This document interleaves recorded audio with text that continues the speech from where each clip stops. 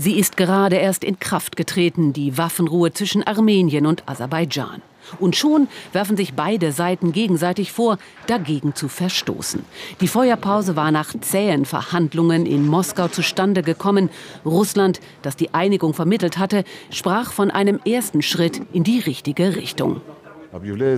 Es ist vereinbart worden, dass die Waffen aus humanitären Gründen ab Samstag 12 Uhr Ortszeit ruhen, um Kriegsgefangene auszutauschen und tote Soldaten in die Heimat zu überführen. Dabei sollten sich die Kriegsparteien an die Vorschriften des Internationalen Roten Kreuzes halten. Der Konflikt um Bergkarabach und angrenzende Gebiete war Ende September wieder aufgeflammt. Seitdem gab es täglich heftige Gefechte, bei denen mehrere hundert Soldaten ums Leben kamen. Zudem sind tausende Menschen auf der Flucht.